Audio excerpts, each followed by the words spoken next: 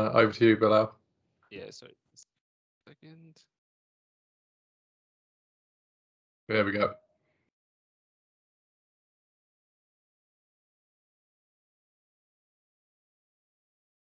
Okay, Bilal, you can get going. Yeah, sure. Um, welcome everyone. So this is our almost the first session of the new financial year. It's a July, I'm right. So this time our guest is Linn, and Linn is going to present us an interesting topic of debugging Dataverse flows and getting runtime history of a flow, which is obviously a lot of people facing this nightmare. So I'm sure that you all will get very informative session and get a lot of information. And then at the end of the will be a QA session, so you can always put type your questions and we can forward you to Linn and Linn can answer whenever he will feel. Linn, all over to you. Okay, um, so I'll share my screen. so as Bilal mentions, um, the today's session is about the debugging flows, especially around um, Microsoft Dataverse connector. So for those, all these dynamics and um, form professionals uh, use Dynamics uh, Dataverse connector a lot, and so I hope that will be useful.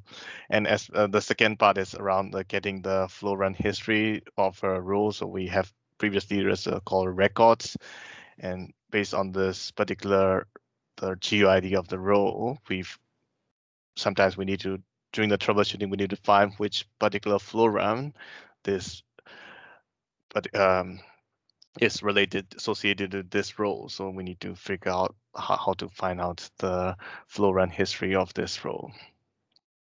Okay, so before we start uh, um, today's sessions, um, I, I I will forward the slides to the organizers towards the end. So you, they, they will also share with the other members, or if you are keen, you can also uh, scan this QR code or get to this URL and download the slides because most of the slides, they contain the URL to accompany uh, to the related blog posts of mine. So if you have any detailed steps to get the formulas and how to do the detailed steps, you can go through the blogs and get the step-by-step -step, um, in this blog post.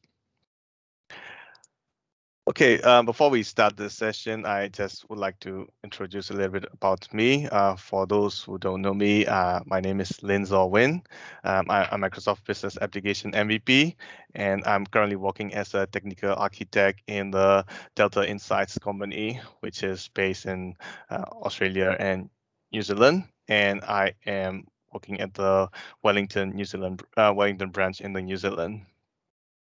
Uh, my main focus, I started as the Dynamics CRM um, developer, and then my main focus is Dynamics 365.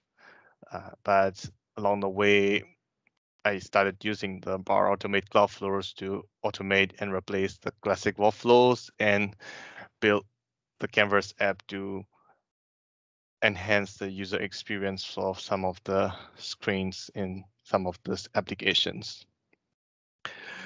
When I am not working, I usually uh, do some community contribution in, in this uh, Dynamics uh, Power Platform community by blogging, uh, forum participation by answering some forum questions and or speaking at the user group like this or some conferences. So you can find me in my blog post in this URL and you can also follow me on Twitter.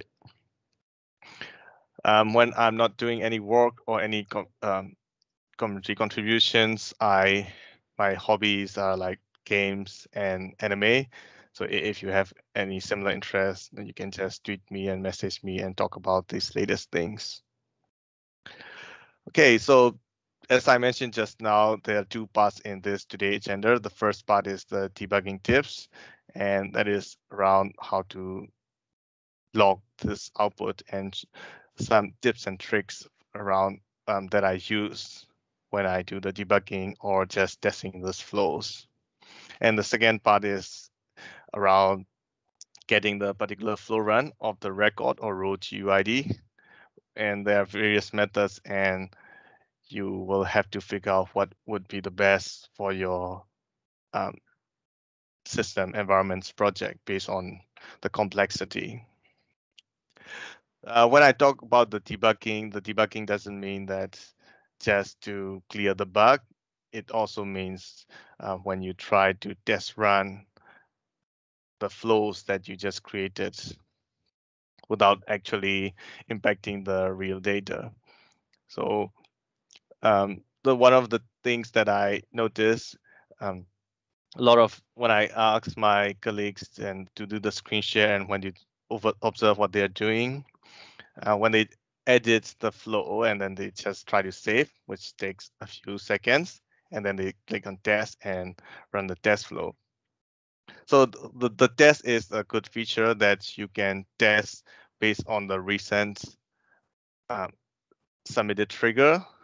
So let's say if you uh, flow is running on create of the contact and you want to rerun a particular flow run, you can select and test it based on that particular flow run. So I hope you're all using um, for this particular feature. And actually, you don't actually have to save when you are going to test because the test is the, the actually the save and text functionality. So you just save yourself a few seconds and just click on test rate and just um, it will the flow will just save automatically and then test automatically. So you don't have to do two-step process. It's similar to uh, the form designer and view designer, the, the, the modern form and view designer, there's a publish button, so which does both save and publish, so don't you don't have to save and publish um, separately. Uh, another part is just the compose as logging. So this is somehow um, related to um, let's say, for example, we have this condition. And in this condition, the first one is the length, the list of all accounts is greater than zero. So the result set of this all account is returns more than zero. And the second part is uh, whether the first owner of the collection is equal to this particular GUID. So when we run this flow, um, actually it just gets this condition false and then it goes to this node branch. And we don't really know whether which condition goes wrong along the way whether this condition is wrong or whether this condition is wrong. So you don't really know. But if the if the expression is simple enough you can log it through. You can check the output of uh, this previous step and check whether okay, this is more than zero records or whether this what is the owner of the first record you can check. But imagine if you have a very complex expression with um, four or five functions. And it, it is really hard to debug through. In, in that case uh, one of the good thing you can do is you can log it in as the um, function so that when you log it, you can just, in the flow run history, you can see what is the value for each uh, expression and you can figure out, okay, this is false because this UID is different. So the, the, this is using compose as logging. Um, it is okay when you are doing as a developing and you try to figure out the things, but just be aware that each step costs one API call. So if you're concerned with, um, if you want to minimize the number of API calls in your flows, uh, you may want to remove those um, after you have done with the developing with your flows. So the second part is um, show raw outputs. So when I run the flow, let's say I have first one is just listing the top one account and the second one is list all accounts. So if I want to see the list all accounts, if I uh, I can just click on the outputs and click on open it. I can just see all the output of this one. So it is simple. Okay, but sometimes the flow designer shows the output as the status reason 200 and I don't know what's going how, how how how can I see the output of this step? And previously uh, we had to use the compose or some other ways to figure out but now we can use the show raw outputs and that will show the output of this particular step. So you don't have to um, do those walkarounds to show this when you see the status reason 200 uh, I, I don't really find it uh, the pattern of when it is show the status reason 200 or when it show like the link to show the outputs.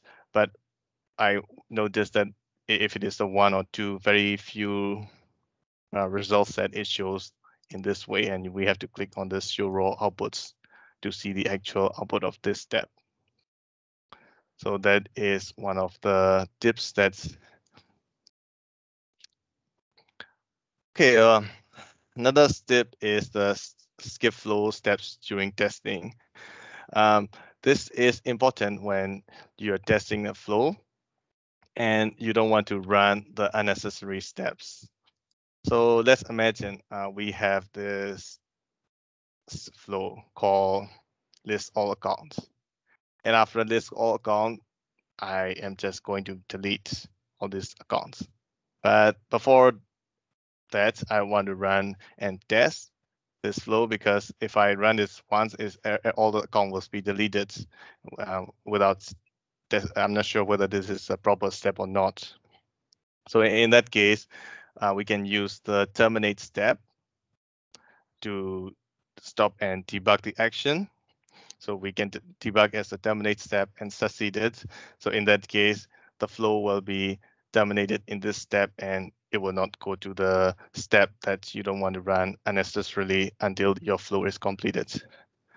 But using the terminate step uh, means that you will your flow will be terminated at the same time. So let's say if you have a branch, if you have a multiple branch, a parallel branch for this flow, um, terminate step may not be an ideal solution because it will just terminate the whole flow, even the parallel parallel branch is still running. So in that case, you will have to choose another thing, um, which is configure run after. So let's say um, we have this list all accounts and this long running process. Okay, we have this list all percent and then we'll process everything in this long running process and after that it will just go to the next step. So we don't want to run this long running process during the debugging session. We just want to run it after it is actually completed. So in that case, during the debugging session, you can use the configure run after to not to run this. You can set it like something um, has failed or has timeout or is skipped so that this step is successful, it will skip this long running process. But in order to run the, the subsequent step, you have to set the configure run after step for this one is step. So what that means is this run, okay, this long running process will run only if this step is skipped, which will not happen. So it, it will skip this one. And this one will run when the, this step is skipped. So it will just skip this process and run this second compose. So let's try and run this in, in this test. So I have a recent test. And if I run, try to run this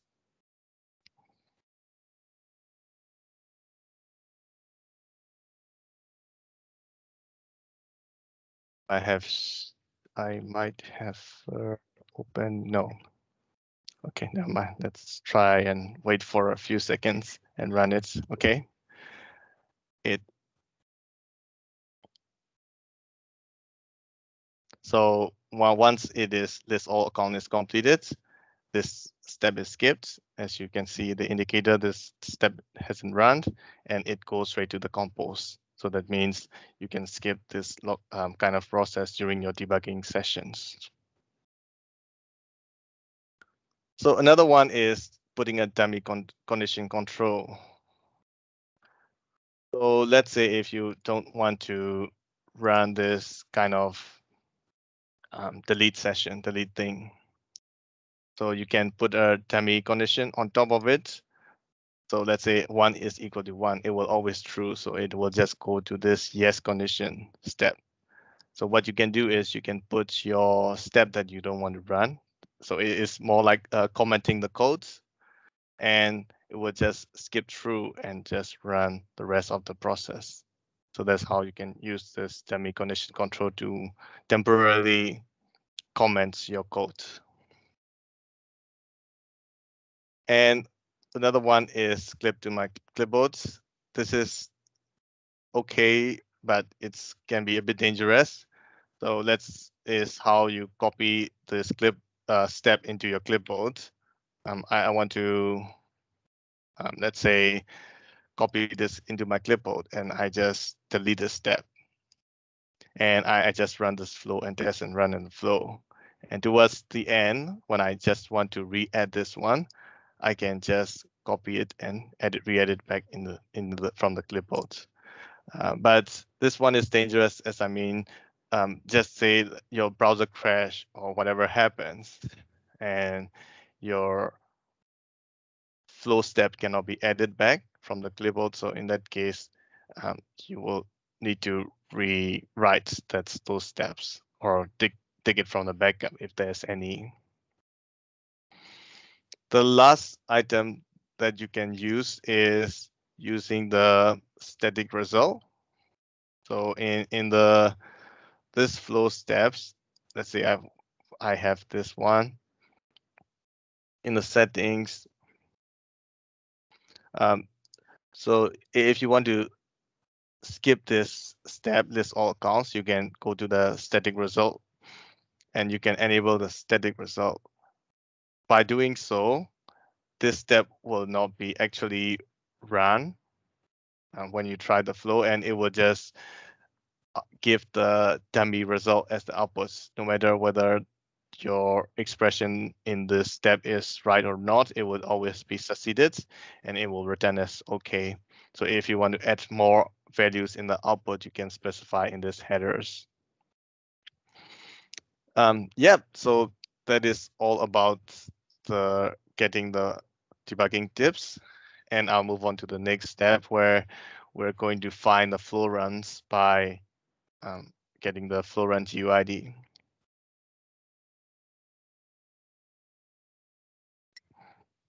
The first way is finding it manually. Uh, manually, as I mean, if you have, um, let's say I have a flow run like this, and I want to figure out what is this field one. Let's say I, I just want to get the flow run ID of the test contact 10.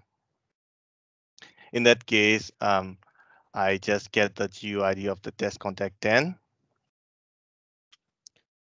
And I want to find the flow run related to this test contact 10. So before that, we just go and check what is the time of this flow run happen. So this flow is running at the around test contact 10 was around uh, 3 3 p.m. and it was the the the last um the fourth last item created. But if you go to here, um, you can see there are some items with a 323 and we can't really rely on the order because all these flows are asynchronous and some of those may run earlier than the other if if, if the records are created uh, almost the same time. In that case, you, you just open up uh, a couple of them around the same time and let's say I just open three of them and I find this GUID that I copy. Okay, so this one doesn't have the the GUID that I wanted. And check another one. And okay, so this is the GUID. So normally it contains in the the contact ID or the primary field GUID field of this contact uh, for, of the table, or it always in the internal item ID. So you can always identify this. So that's that's how you can identify the the flow run related to the particular row ID manually. But let's imagine um, if you are have like 20 rows or 30 row uh, 30 flow runs around the same time and you which were bulk created or created from from the excel import and you you you cannot open up all 20 30 and check each and everything manually. Um, in, in that case what you can do is you can export as a flow run history. So let's go back to um, from here, you can click on the all runs. You get to the flow run history and click on the get CSV file. It will just generate a CSV file. And once you get there, you will be see the icon like this to download the file. And once you download it, you can get the CSV file like this. And just once you get there, just copy and find the GUID of the flow, uh, the row ID that you're looking for. And that's one. Okay, before that, what you can do is you can expand this columns a little bit and freeze the header freeze the top row. And once you get there, you can see there's a run link. So run link is the flow run URL of the row ID that you're looking for. Once you get there, you just go to the browser and open and get the flow run ID. So this is the exactly the exact flow run that's trigger based on the GUID of this contact GUID that you're looking for. Yeah, um, it might take a while to load, but I'll move on with the slide. So that is how you get the flow run based on the flow run GUID. Um, but let's imagine we have the flow runs from like more than 2030 we have flow runs from the export flow run only works for I think the hundred or certain number of flow run history. If you want to find some flow runs way back to more than 100 flow runs, um, you can use the flow with the custom connector to find the flow run. So I, I will explain how does it work. Um, if you want to follow through and create the same thing, you, you can follow the blog post uh, that I have in the URL of the end of this slide. okay, so this is that flow run that's we're looking for. Um, okay, so this is the sample flow that I use to uh, write this blog post. So what it does is is just accept the flow name, the name of the flow, and the record GUID. So in, in this case, uh, what I want to enter is um, debugging and troubleshooting cloud flows. So. So this will be the first parameter um, for for the for the first step if I test if I want to test. So the second one is the record UID. So this is the one, and second one is the record UID, which is the UID of the contact record that I want to find. So this is the parameters for this manual flow. And what it does is just initialize the flow run history array. And before we start, I just go and find the, the UID, unique ID of this flow with the flow name. And this is the, um, the custom connector to get the flow run history. It is not documented by Microsoft. It is not part of the official Microsoft doc documentation and um, Stephen, one of the other MVPs, blog about it. And so I just make use of it to get this solution. What it does is provide the environment name, whether this is the, the URL, the host of um, the this part, the URL environment ID name. And the flow name is actually the flow GUID that we got from this step. And the API version is static for now. Okay, so if this is the custom connector, um, is the host is this API, all, all these values that you see here are mentioned in the blog post of mine or Stephen's. So you can just follow through and create your own custom connector. Um, and it is just actually appending this parameters to and requesting from the flow runs from this URL. So once uh, we get it, uh, we pass the JSON value from the get flow runs. And the uh, interesting part is these flow runs does not contain the the the GUID of the records in its value. So to and query the trigger value based on its value, and then after each trigger, we will get and append it into that flow run history variable. So that, that is where we get the run ID, run URL, start time, end time, and status. So if that's time, as I mentioned previously, all of the triggers contain the value called internal item internal ID, which is the GUID of the row. And if it is equal to, and then it just edits append this flow history into the array variable. And once it is there, you can just export it out and see what are the flow histories and when did it run for this particular row GUID. So that is how you can find out the flow run using another on-demand flow.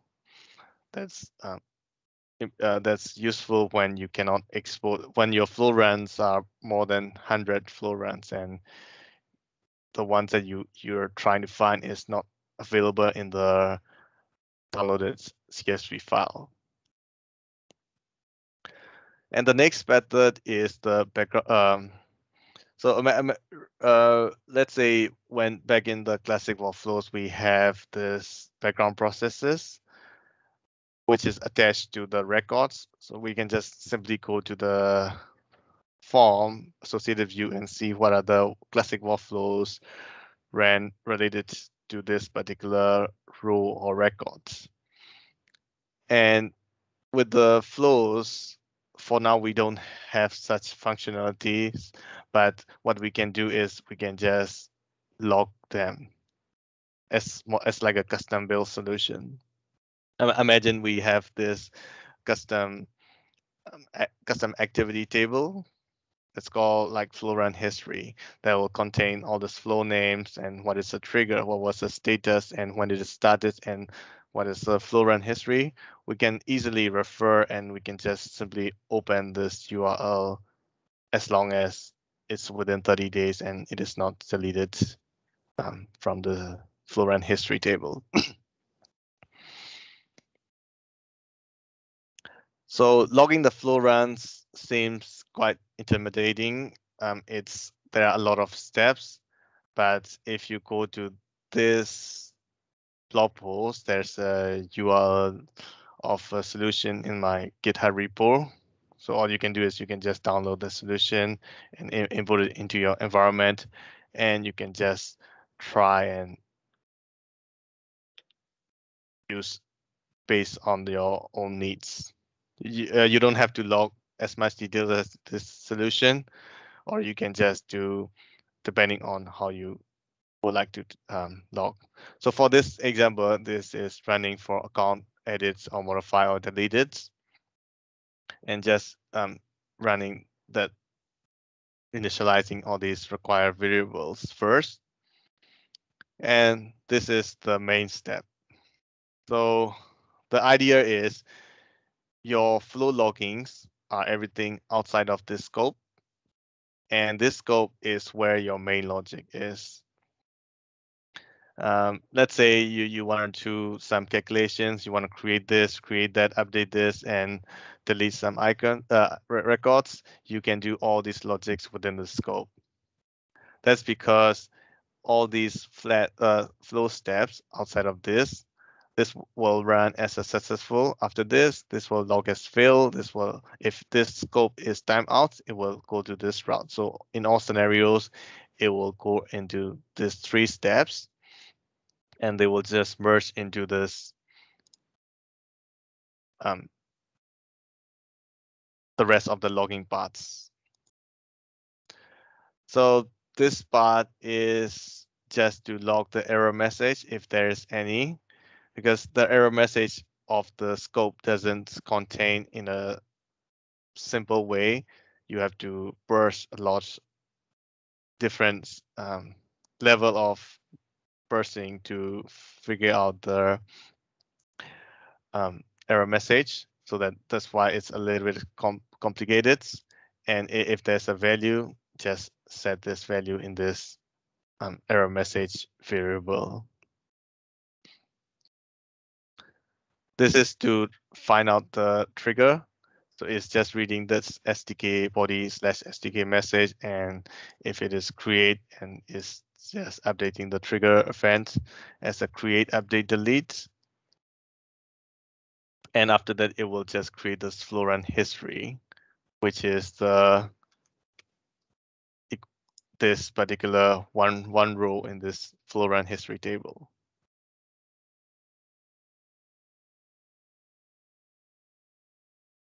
And this is for flow run is if the flow run is caused by the trigger by the user, it will log as a flow run histories owner.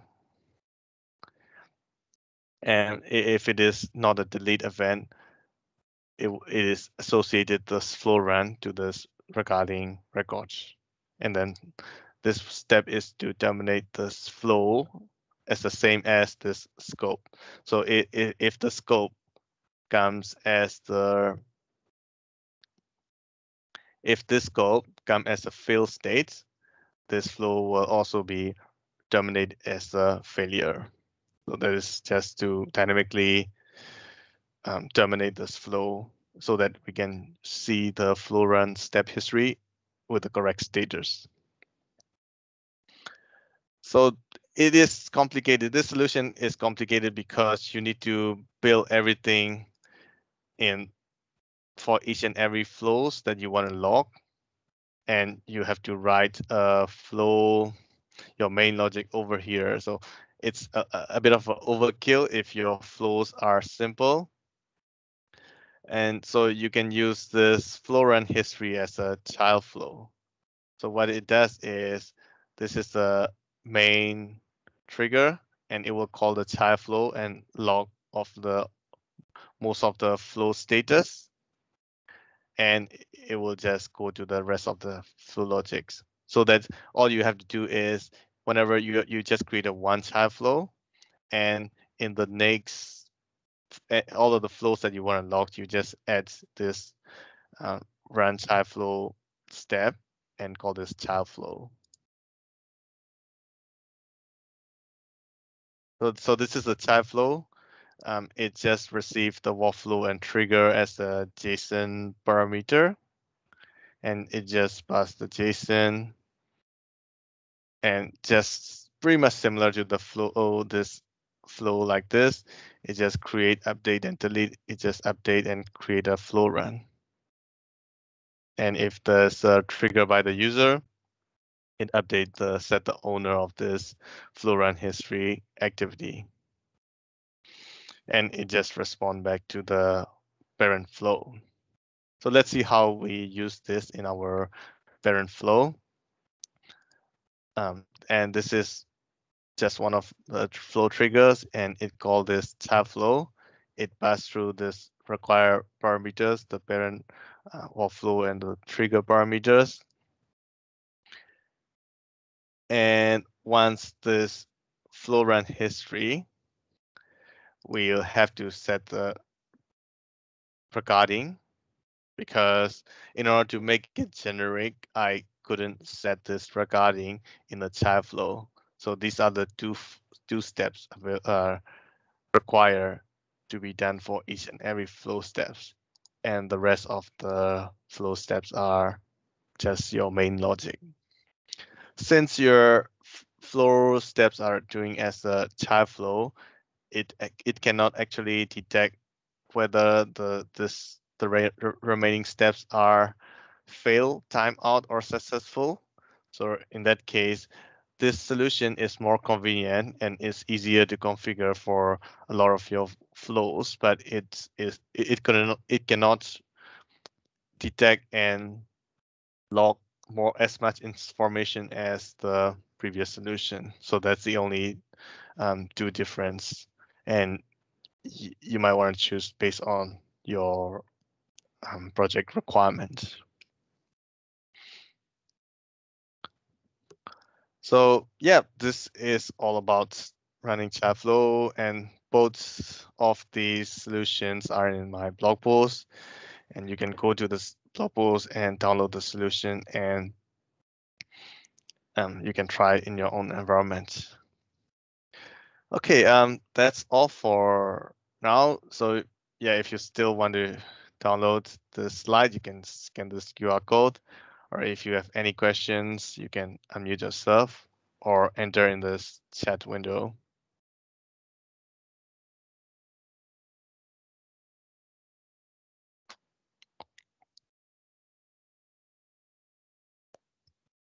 Hey, Linn, it's uh, Ben here. Um, hey, Ben. You guys hear me okay? Hey, hey cool.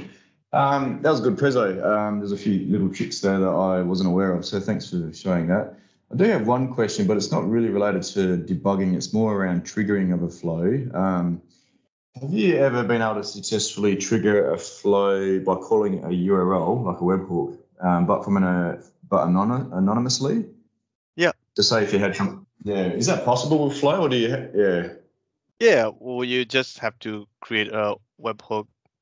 Um, the I think it's a HTTP call, um, and then it will generate the URL.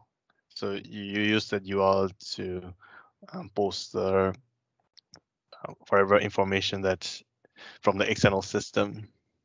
So we're using that to accept the in my, one of my projects, they have this contact us form, and in the contact us form, when the when once the user submits the name, phone number, email address, and the description of the feedback, they submitted this into my flow, and my flow would just parse this value in the JSON and create it as a inquiry or lead in the Dynamics 365. So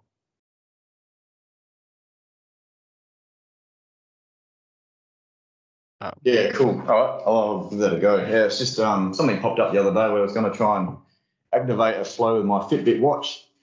I was just I was stuck oh. on the anonymous authentication bit. Yeah. Okay.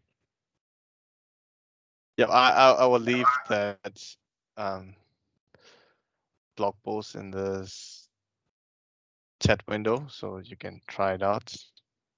Yeah, cool. Thanks for that.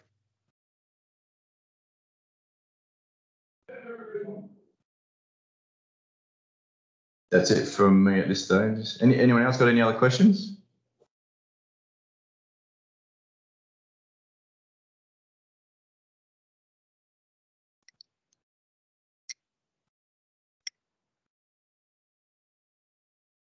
I think that's it at the moment. I think so. Um, everyone is quiet.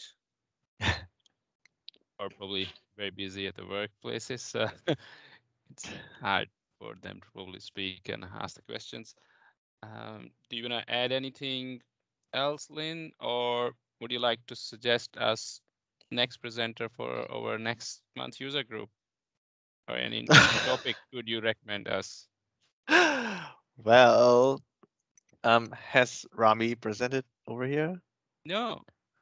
Okay. Um, yeah, you can reach out to Rami Mounla. Um, he is like really active community like chapter lead for our Wellington user group. So I think yeah he, he can he can give you like some insights about the ALM process and um yeah he, he he's really active in this community and he's sort of also sort of like my senior mentor back in Datacom. We work together and also in the DXC. So yeah, I think yeah he would be a good fit for uh, one of the user group sessions that you will have. Thanks for that. Yeah, sure. We'll definitely we'll ping him and see if it's availability. So I'm sure it's a good time for you guys in New Zealand to present at this time. Yeah, yeah, it's a better good time. So it's towards the end of the day, so that we can just tell. Okay, we're heading off early today. Oh, that's and that's a good reason this to leave early. Yeah. Ah, no, and um, the, there is a the boot camp thing happening um this over this weekend. For those you're not aware, it's a Urdu uh, Hindi boot camp 2021. yeah, I saw that one. It's quite interesting. Presenters Mhm. like the big list there, and Yeah, they yeah. are So covering different domains, not only Dynamics and uh, Power Platform. They're covering four or five different streams. yes, they're really like if you just go through this, and if you're um just English speaker or you you're you can you you, you want to learn those in your own native language you, know, you can check it out the Urdu and the, if you can speak uh, understand this two language Hindi yeah that's one thing happening soon Ah, that sounds good. So now I'm part like part of the uh, you can say that the founding members of this group from because Oh. I'm based I'm from Pakistan, so these all guys contacted us and we decided to create this group, Faisal and other guys. So yeah, that's very interesting topic. I was just not much involved at the moment, but uh, it's they I think so they organized a lot of different presenters. Thanks for sharing that one. Um, anyone else has any questions or before we can wind up early today and we can let Linn to enjoy his time, which he dedicated for this particular time. So maybe he can write another blog post and share it with us. yeah i'm trying Okay. Th- thanks, Linn, and hope so we will see you soon with another exciting topic. Yeah, definitely, um, thanks for inviting to this user group sessions, and it's really good that we're I'm able to present online, which couldn't be possible otherwise. You know, to fly over there to the presentation. Uh, that's always player to have you guys.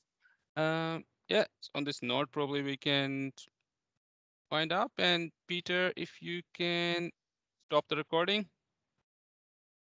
I'll do that now. Thank you very much.